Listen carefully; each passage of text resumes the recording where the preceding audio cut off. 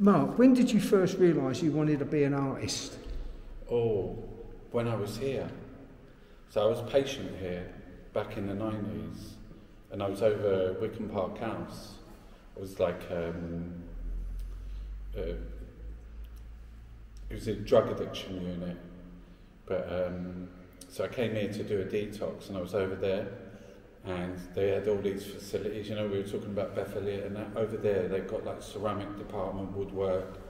So they have. Um, uh, it's like kind of like art therapy. So I was like making think, they're going, oh, you're really good. And I made this little small uh, ceramic. It was a person with their head in their hands, and it, they put it into a show here. Like, oh, nice. And then I ended. I left here and I went to um, Thurston House, which is uh, like another recovery place, and I was there for about six nine months. And they had loads of art therapy there, and I went from there to Camberwell College of Art. Growing up in Peckham, I used to live up Telford Road, and then you would see, I saw that building the whole time, this art college, and there was like the, the South London Gallery next door. I knew it was there, never went in there, but you could see like artists around. They, we used to think, oh, they're all fucking hippies, do you know what I mean? Because I was into football and that, but I saw them all there. And then I went, came out of like uh, drug addiction and like going through the Bethlem into Thurston, straight into Camberwell College of Art because I was making art while I was in the hospital and everyone said it was really good. So I put all that kind of like addictive behaviour. I was making so many drawings, so many paintings. Yeah, just got really like, never looked back since then. And, and how, how did you fit in at, at college? Yeah, that was like something else. I was obviously I was a mature student. I was like 37 when I turned up It was like just loads of kids there really, but they was all thought I was the teacher. but I just come from the streets of Peckham, do you know what I mean? I was like Mark, the mad smackhead from Peckham, getting to uni, I was doing all these drawings while I was in the hospital, get out, I end up with like loads of people saying to me, oh no, no, you can do, you don't just do painting and drawing here, you can do whatever you want. I was like, what do you mean? She says, yeah, whatever you want.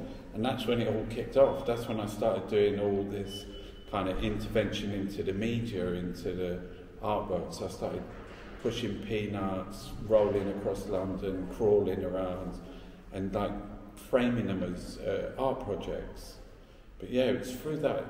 Just you can't say to someone who's been quite kind of like off it, do you know what I mean? Quite hedonistic. You can do whatever you want. I couldn't believe it. And then framed within the context of art. So it was like, you can't even get in trouble with the police, do you know what I mean? Because before, if you was thinking you're going to do something, it was always like you were going to get your collar felt, you know what I mean? But now, you could go and express yourself and do these like really extraordinary things. Was that when, when you, so when you was at, at uni, that was when you was getting into paper? Yeah. Okay. So that was when I catapulted the old woman. That was outside like um, Camberwell College of Art. Yeah. And then I crawled. When I pushed the peanut, that was from Goldsmith. So I crawled from um, uh, Goldsmith. That was about student fees at the time. So I crawled along the road, pushing the peanut for seven miles. And I went to number 10 Downing Street and it was um, I handed it into um, Tony Blair was there at the time, wasn't he? So yeah, the, on the news they were going, oh, at least there's one nut inside. We now we know there's at least one nut inside Downing Street.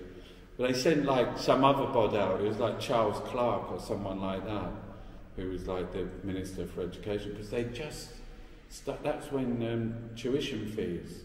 So where everyone was going to uni before, and it was like all free. Now they made everyone pay. Oh, but I really like uni, and I think it, you know I ended up like working at Camberwell. I did six years on the MA Fine Art teaching at Chelsea. And I really did, you know, I I loved it. I loved it, but it's it's so um, it's such a business now. You know, it's just people just paying and getting degrees. You know, for you know, there's no no effort, there's nothing, but, or I know in, in most art degree courses now, there's a module about marketing. Yeah, yeah, so yeah. It, so it's But there's also because there's like there's no effort because nothing's put in because you don't get the teaching hours, you don't get like uh, the facilities. So you, basically, you're paying like what is it, nine thousand pound a year for a library card because that's all you get. Do you know what I mean? And their financial model is, you know, around Peckham and Camberwell. They've bought everywhere around there, and Goldsmiths around New Cross and Lewisham. They've bought everywhere. They're real estate. They're property magnets. So what their thing is, is they're buying up all the local things. They're like landlords and then renting it back to the students. Do you know what I mean? So and, that's how they're making all their money because the government took all their money away. and they're still pleading poverty. I know Yeah. Goldsmiths are. They're, they're making all redundancies. Yeah, oh, that's terrible as well. Yeah. Yeah. Um, so how did your, your family feel when, after kind of coming in through this process, Yeah. you went, I'm going to university now. Yeah, how was yeah. that? How was Oh, that? they they, they were like, they weren't having it. They were like, because I was on the telly, do you know what I mean? Keying cars, rolling around. They were going, oh, for fuck's sake, what's he doing? I remember, like, uh, they, like my brother going, like, because I did Dead Soldier, which was during the Iraq War, and I didn't, but it wasn't pro-war or anti-war. I just lied down in the road in Birmingham, and I had uh, fatigues on. There was big uproar about it. The sun were on the case. Do you know what I mean? Going like this fucking this outrageous. My family went, oh for God's sake, keep the kids off school. He's in the papers again. So then they all knew because at the beginning they would say, yeah, that's my uncle and that. But then afterwards, when I kept seeing me, going, have you seen your uncle? What's he up to now? But the, the thing is, that you you recognise the problem is these people just see what the papers say. Yeah. But there was always a good message behind your stuff, a good was. social message or a good socialist message. yeah. And if you read that, then it makes sense. It ain't just throwing a granny out of a cannon. Yeah. That was about benefits when it was No, it was, a, it was about um, uh, trying to get younger people and older people, bring them together. So it, was, um, I went to like the community, uh, I met some elderly people and it was like trying to give, bring them back into the community where they'd been excluded, where, you know, younger people were being very disrespectful, you know, towards older people and about you know, they are still got their lives, you know what I mean? They still can do anything. They can still go to space if they want to, you know. I think I think some of it is I, I kind of worked with the media as a like as a collaboration. So I would always have these quite eccentric kind of uh, performances, these events, but it was always like um, everyone enjoyed it. You know, they said, "Oh, that's really quirky, that's really funny," but it was always about carrying a message about something, like you say. And I think that that's how sometimes um, performance art, you know, like people do something silly and everyone goes, oh, what's that bit of performance art? So performance art is, it's not linear, you know, like books or TV or, uh, you know, a film, Netflix, it's a story. But performance art's always very, uh, rubs against people, you can't read it as well.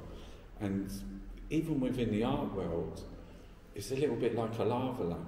It's a bit of a novelty. They would ask me, do you want to come and do a performance, the exhibition's opening, you come and do something. And you'd be treated almost like some kind of like organ grinder, monkey kind of like, just like go and do something funny for the people. But it's, it's like a lot of the stuff that I touched on was really serious, do you know what I mean? It was about loneliness, it was about, a lot of it was shame based, you know, about pe- how people suffering and yeah, I mean, I really enjoyed that period. I'm the artist taxi driver now, which is a completely different thing, but still really performative. This morning I was with my ther- I've got a therapist now, so I wasn't getting on that well. So last year I ended up in trouble again, and ended up in the Bromley drug and alcohol unit. So I had to go through, do a detox up there, and come back down through like uh, group therapy and do some other stuff. So I've been going there since last July, but I've ended up with like a with a therapist. But um, we were talking this morning about so this character, the artist taxi driver, and she was we were talking about. So where's Mark? you know, is it real? Like, what's are you playing this role of like being this taxi driver? You know, this role of being like, and it's very difficult, you know, because um, yeah, even through last year when I really wasn't well, I was super depressed. You know what I mean? And lots of it's to do with cost of living crisis, and you know, it's a struggle out there for everybody. You know, I'm not, no. Everyone's suffering. So you know, people have gone through this winter, keeping the heating off, even when they're cold. You know what I mean? Getting into bed early so they don't have to keep the heating on. You know, eating really sort of like lots of things like porridge, dal you know, so um, spend less on food.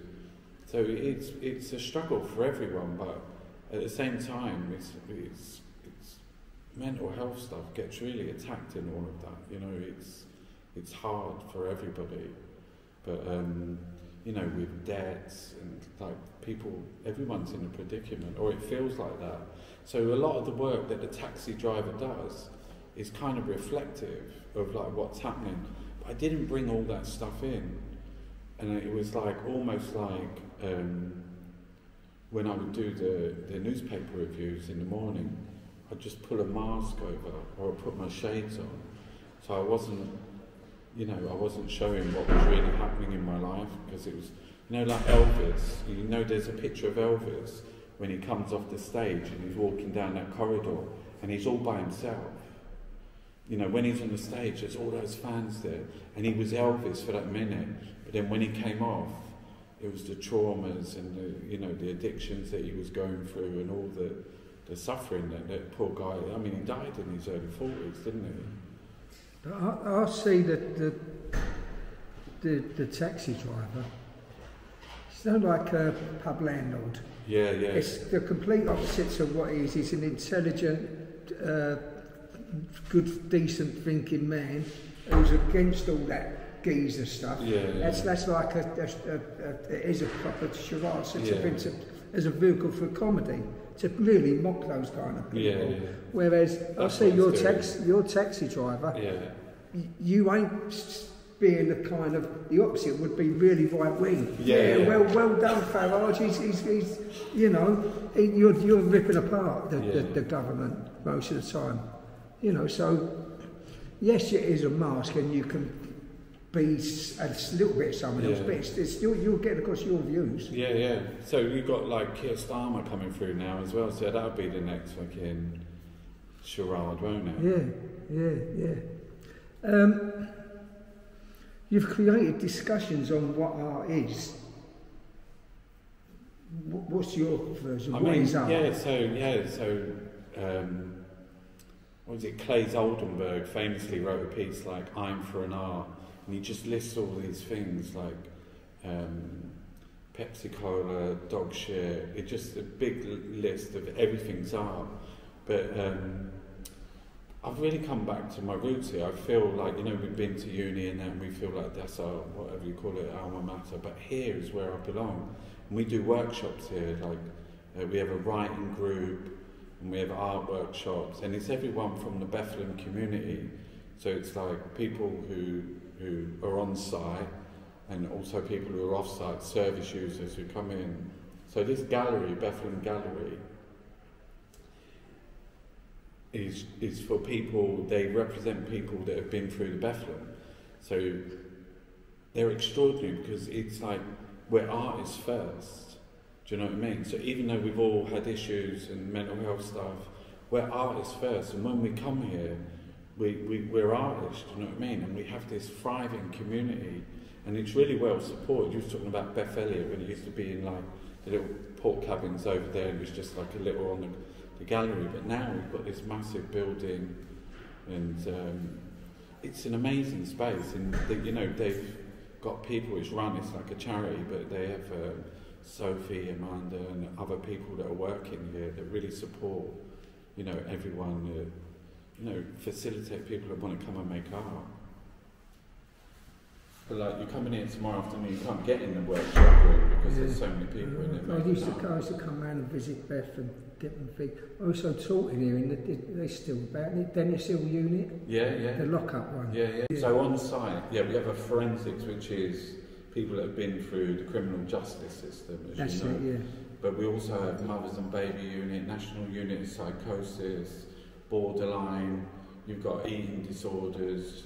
So you have like a wide spectrum of people who, you know, I think I've visited most of the wards Yeah. and different things that use different people I know.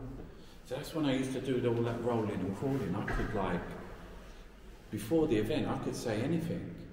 You know, you could write up this press release, and basically you can be, you know, it's you could just write the best like script, what's going to happen, what you're going to do, and it would already like artists. I'm going to eat a small corgi dog, so it's already in the papers. Artist eat to eat a small corgi dog. It's almost like the event has happened because you've got this documentation. The event itself, a lot of the rolling and crawling thing, to be honest, if you witnessed it in public, it just looks like fucking some nutter going along, crawling along the road, pushing a peanut with his nose, and they're like, "Who's made you do?" Comments like, "Get up, you crackhead." Who's made you do that? Who's the, who's who's? And it'd be all like, uh, you know, the interaction would be with alcoholics and children, you know, because that's the only people that mainly who come up to you, and builders. Oh my God! I remember I crawled from London Bridge to Canterbury with a rose between my teeth. I had 28 boxes of chocolates tied around my wrists and ankles, and a big sign on my back which said, "Could you love me?" And I crawled from um, London Bridge down through all the way down the Old Kent Road up through New Cross into Lewisham, and I was going up Lee High Road, and there used to be a Glazers up there. So I'm crawling along. I was all on my own, crawling along, and all the vans are parked. Like, there- there's a bit of a driveway going up to the shop, and all the drivers are out there going, "Fucking hell, look at this nutter," and they're all going like shouting for more of the workers to come out like that. He said, "What are you fucking? What are you doing?" So I was crawling on my hands and knees. So I get up on my haunches, so I'm on my knees. The sign's like flipped over. I've got the rose between my teeth, and I carry on talking with the rose. And I said, I come from London Bridge, I'm crawling 55 miles because I'm trying to ask people to be kind to people who are lonely this Christmas. Because last Christmas, I was on my own, didn't have like family, I didn't even have like partner, no girlfriend. I was at home on my own, and all I had was two fish fingers. Oh, you ain't got a bird? Hey, Darren, he ain't got a bird. Darren, Darren, get out here. So they're calling for Darren. They dragged this kid out and get, get on your knees, Darren, go on. Crawl to Canterbury with him, you might get a bird. but from what I thought was going to be like a bit of an altercation at the beginning, you know, where I thought I, I might get a few kicks here, they were like clapping me. They were like, go on, mate, go on, you can do it.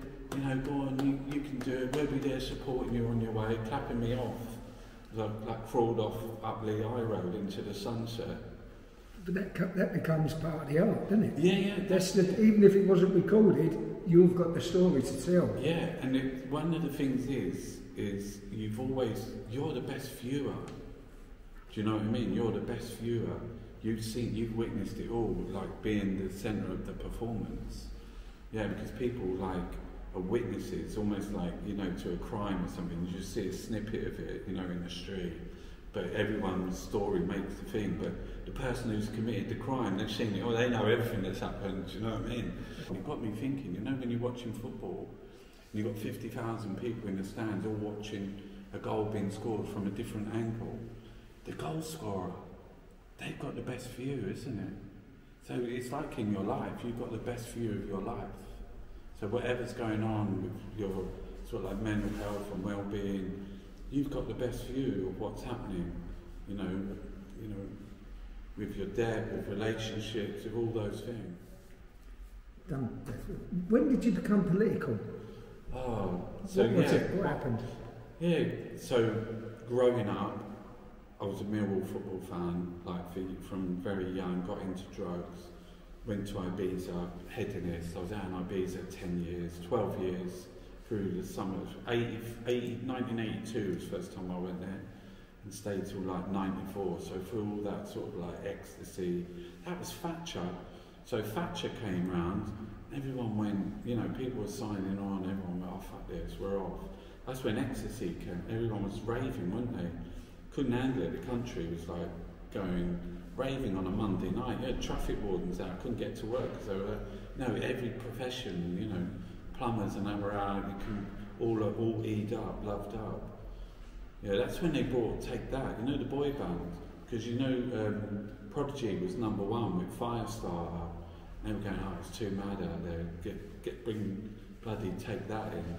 But um, yeah, so was that's kind of like a political action, the decision to leave and go and listen to music and take drugs, but not really into it in a sense. I just wanted to escape from it. But of course, when I ended up on heroin and like really like in the Bethlem, come out and start making art. When I went to uni, I suppose it was when I was at uni, and I started looking. The, the Iraq War had started, so politicised by the Iraq War as well. You know that kind of. Um, period where I was like, this is horrific, you know, just astounding, quite similar to what's going on now with Gaza, you know, you're just like, but where, where, why, are we, why are we part of this? Why are we doing this? So yeah, like, I got politicised just because I thought um, all the projects I was making, some of them were about like identity and some of them were about like, you know, different things, but a lot of it became political quite quickly. How has your your your art changed since you since yeah. you uni, I suppose? I, I don't know. I, like I have taken, I've done a lot more painting. I've started painting like different things and tried to use different styles and you know, been making music at the moment, writing poetry, you know, dancing, filming, I want to do it all. You know, I want to do it all. Who do you who do you make art for? Yeah, I like so loads of people. Um, when you go through uni and get into you, you know, you can work with in graphics or work for a company. So quite often that's working to a brief. It's like I just wake up every day thinking, I need to make something. What am I going to make? But like I tell my students, you know, you shouldn't be driven by um, material. What am I going to do? Am I going to do make a painting? You shouldn't be driven by themes. You should think, I'm going to make something absolutely extraordinary. So that should be your starting point. Now, we've all seen like I mean, in the art world, we're up against Rembrandt and Picasso, and you know they're still hanging in the, in the galleries. So we have to make something that's extraordinary. We have to think, what can I make that's going to make people laugh? What can I make that's going to make people cry? What can I make that I'm going to have to pick someone up at the floor because they're going, oh my God. You know, what are you going to make that's going to make people uh, say, have you seen this? Have you seen it? You know, and they send it to like their friends and go, oh my God, look at this. You know, we know those things, you know, and whether you're, you know, whether you're making music or you're writing journalism, you've seen great articles and you think, what made that a great article? What made that writing so special? Um, who, you know, whether it's the headline, whether it's the, you know, how that piece was written, how can I do that? You know, how can I make myself a better artist? How can I make something that's extraordinary? And I say to the students, you know, don't just think, I'm going to paint six trees. Paint one tree. Make it the best fucking tree ever. Make it a masterpiece. Make it so people go, oh my God, look at that tree. You know, and that's how I think that's, you know, sometimes if you can catch yourself before you make a piece and tell that to yourself, you know, even if you get a little bit along that scale towards that, you'll be like, you'll be making something, you know, that, that that's legacy, that's lasts, that, that's kind of legendary, that's like, oh, that's incredible. Who have you been influenced by in the art world? Yeah, I get influenced by everybody and everything. You know, everything that I touch on and see. I was with this um, Cara May yesterday. She's this uh, really old woman. I, uh, you know Hill Station Cafe? It's in Telegraph Hill Park at the top of the thing. So I met her, I took her out for lunch yesterday. She, she's an author, she writes children's book. And she was telling me, so she's writing a film script. She's turned things into plays and musicals. She's written librettos and things. She's telling me anyway. And she's written this thing about the dream snatcher. So it's Jody and the dream snatcher. This fella comes to town and he's got loads of money and he tells them, I'll give you money, sell me your dreams. So all the town, they're like, yes. Do you know what I mean? Have my dreams. He's giving them like gold everywhere. I felt like really inspired to be in this, you know, elderly woman's company mm. who was just like telling me this extraordinary story. I was transfixed. It took about 15 minutes to tell me. I was just like having the soup made me a soup, and I was just like listening to her. But yeah, we get inspired by everybody and everything, don't we? You, you got favourite artists? Favourite artists? Even if you don't kind of let it influence your work, you Yeah. got favourites you always like looking Well, there's this guy, I always like quote him. His name's Alexander Brenner, but he's a bit, he's a bit off key. No one likes. Like it's, about two weeks later, I was lying down in Brick Lane. I was doing a performance in the street.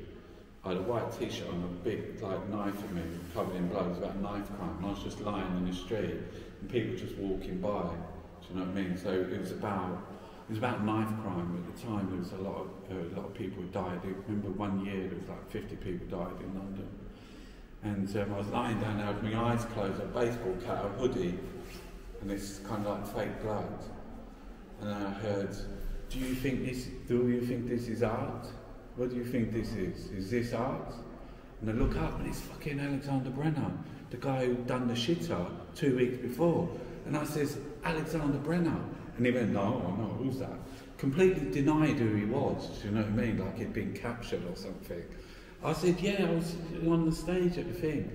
Ended up becoming mates with him. Like, so he goes into the show. I was outside the show. The show was in the Truman Brewery.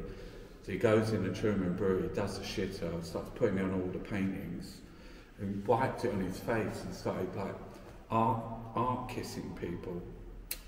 Like that with the shit on his face and fucking terror. I ended up like he he. Well, I met him in the in the elevator gallery, and he came in and he had a massive piece of meat that he gave me. He said, "I brought you this." Just like a piece of meat, disrupted the show, like caused chaos, kicked over all the stuff. But yeah, you asked me who's your you most. I just thought this guy is like he's an he's an extremist, but um, he's into um, one of the philosophers. Well, I can't remember his name. Ga- Agamben. He's into Agamben, but like he's into nomads and just like he does screaming things at exhibitions, like uninvited.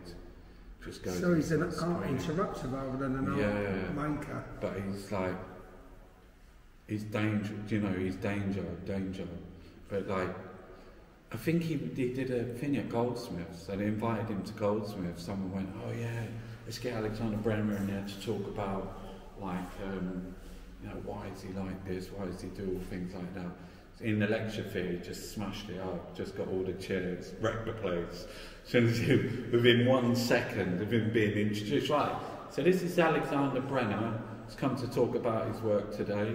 Just like smashing place, run everyone out of it. And got dragged out, called security.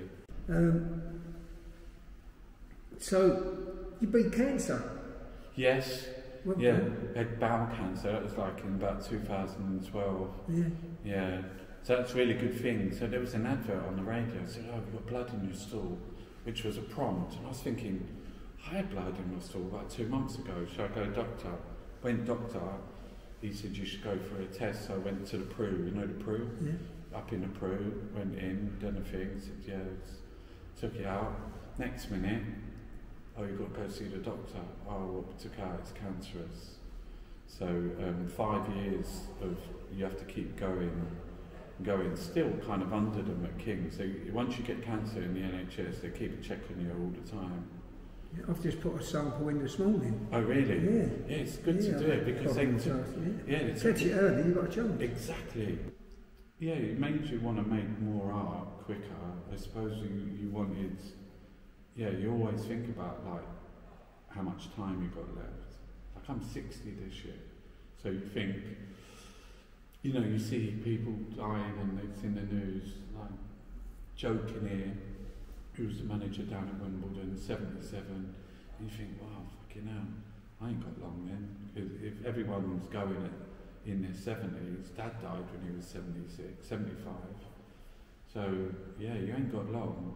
And it's, you know, it is um, like one of the paintings that I do. Today is the best day of your life because it's the only one you've got. You know, and to do like, you know, we think of simple things, you know, like having a shower or a shave or, you know, make it the best shave ever, make it the best shower ever. Don't think of things as being a chore you know, enjoy the things, you know, making a cup of coffee, making some food, or, you know, spending time with family and friends. I'm going to go and see Mum after. Mum lives up in West Wickham. She's got the Alzheimer's and dementia, so yeah, I wrote a big epic poem about her called um, What's Going to Happen to All My Stuff When I Die, which was a question that she asked me. And I did a 10 hour street performance about a month ago in Camberwell. What next for you after this? What, this show, yeah. Got plans? Oh, Yeah, I've started a wardrobe gallery. So I started, I've opened my own gallery. It's called the Wardrobe Gallery. So it's a gallery inside a wardrobe, but there are lots of wardrobes. So I buy a wardrobe and I give it to someone and they do something with it. There's one in contingency works in Bromley right now. Um, an artist called Mud is working on it. Really spectacular what they're doing. So, Do you know um, contingency works? No. Do you know uh, the Glades? Yeah. So as you go into Glades, there's a little boots there. What if you're going in from what end? Uh, oh no, but the bottom- boots end, yeah, yeah, the, the boots, bottom end. yeah, yeah. So you come up, and there's the Glades there. You go in, just there, the little boots next door to the little boots by the ice cream shop. Okay. There's a contingency works, which is a hot desk in like a little um, office space. now I bought a Garing and Willow um, wardrobe. Do you remember Garings and Willows? Willow department store. Yeah. And I bought like a big wardrobe in West Wickham. Do you know the fire station antique shop I know Far Fire Station, yeah. in West Wickham? yeah. And they turned it into like an antique Okay. shop. Yeah, in there. So you can have lots of wardrobes. You can Yeah. have them all in one place. No, they're everywhere. So the, the, the exhibition is Yeah. dotted around. And there's only one artist ever works on one wardrobe. No one else comes to do it after. It stays as it is. So it's like you know, those open studios, places where you walk around an area. Well, Where, where one's in an office, the other one's in the Isle of Man. So it depends. They can be anywhere. Um, you've got a big online presence now. Is that? Yeah. Is that? Did you you just got you got Yeah. involved with, with Yeah. because that seems to be the way for everything, not just artists. I know. It is good though, in a way that, you know, this space is quite difficult to get to, but you do know, tell your readers, that you can get the Superloop from Bromley now. It's a bus that goes straight here from Bromley train station, Bromley South. So Victoria, 15 minutes to Bromley South, jump on the Superloop, you're straight here. Because places are difficult to get to. Because the nearest station is a couple of miles away, isn't it? Eden Park. Eden. Yeah, Yeah. but you get the Superloop bus now. Right. Or you can get the inter-hospital bus from the Maudsley, but you have to be like patient or service user to get on Okay. Yeah, special bus pass. Um, Yeah, I think it's it's good to have the online stuff because you can reach so many people and you can reach you know global audience. While you're kind of putting content on, you know, if not every day, several times a week, is that kind of No, I do the art sector every day. is it every day? Yeah, every day for 14 years. Yeah. Um, but that, is that kind of a way of thinking, I haven't got to do any other art, this is art? No, I can't. is it, no. not, is it not, is not taking the No. I like, I like, I come here. I come here. I'm here like Wednesdays I'm here doing workshops. Fridays I'm in textiles here doing workshops. Honest to God, right, the people here are so good to everybody. It's a really good space. You know, and places like this need to exist. You know, it's um, the other thing is is music and well-being. Just to say, it's so impactful. Like my mum, I said, has the Alzheimer's. I go, she's Irish. I go and put the Dubliners on, and it's spurred to memory. Do you know what I mean? She gets all happy where she's down, just watching like anything that's on the telly. But music is such an important well-being thing for everybody. You know, regardless of your mental state. But it's emotional. You know, uh, we listen to music when we're in love. We're, we listen to music when relationships break down.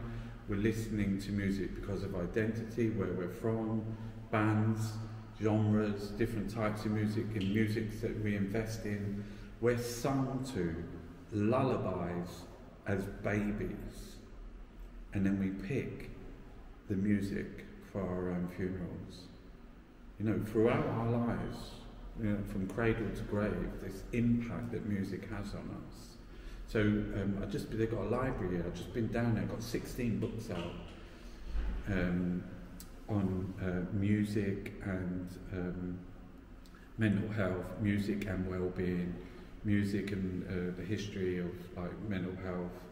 But also, there's a guy Oliver Sacks. He wrote like I think in uh, the man who mistook his wife for a hat, which is like about I think that's about Alzheimer's. But he wrote one called uh, Musicophilia, which is about um, uh, music and how it helps uh, music in the brain. Because you know, there's um, really big musicians know about brainworms. So brainworms are like the bit that you remember. So there are jingles in parts of songs. There are little pieces of music that last three, four, five seconds. That you could be anywhere, it could be any time in your life, and you will hear that little bit. It might be just a riff, but it's a fucking worm that goes inside your head that transports you back to you in your school uniform when you first heard that song. You know, and there's little, um, you know, words, titles of, you know, two or three lines from a song that you'll never forget, that you'll hum and you'll sing all day, and new ones to come. Yeah, I, I kind of get that. I, I, I, also, you're, you're singing a song, only known it for years. Yeah. I think, what, why, am I I singing, singing that? that? If you backtrack, because on the news they said a word that might have been in the title in that Yeah. lyric, and I'm, even if it's a song that I don't like, Yeah. it, it's like, man, I end I'm singing that. You're backtracking. It, it's that that that worm that. You catch yourself, you're travelling Yeah. along and you're singing it, and you're thinking, that what am I doing? How does am I singing that? Your brain's like a computer, isn't it? It's like it's in there somewhere. Somewhere inside is one of those little like connections that like just bring you back to. It's like have you ever seen that film Ratatouille? So like at the end, he's this really horrible kind of like food critic. Right at the end, the rat cooks him like a ratatouille, which is a really simple dish, just courgettes and tomatoes, and it just like phew, brings him back when he was a little kid and his mum's made it for him. You know, that's what it's like. Anything you'd like to add, Mark? No, that's good. Yeah, good. Oh, yeah. Southwark News, number one newspaper ever. We love the Southwark News. The Southwark News loves you, So Mark McGowan. paper. McGowan or McGowan? McGowan. Yeah, like Yeah. Cafe. Yeah, exactly. nice one, mate. Hey, it's fantastic. Let's um, let's get a couple of photos. Oh, yeah.